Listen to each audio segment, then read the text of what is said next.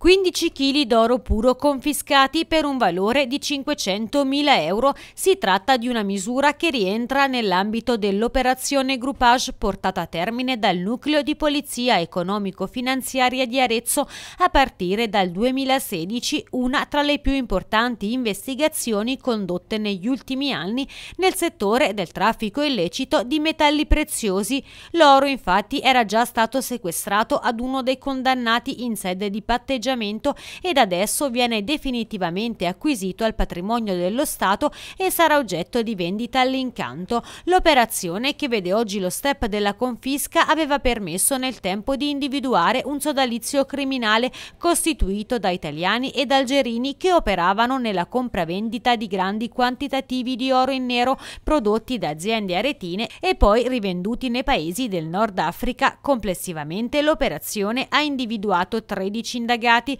di cui due arrestati per riciclaggio, reimpiego di denaro di provenienza illecita e commercio abusivo di oro, tutti reati aggravati dalla condotta transnazionale.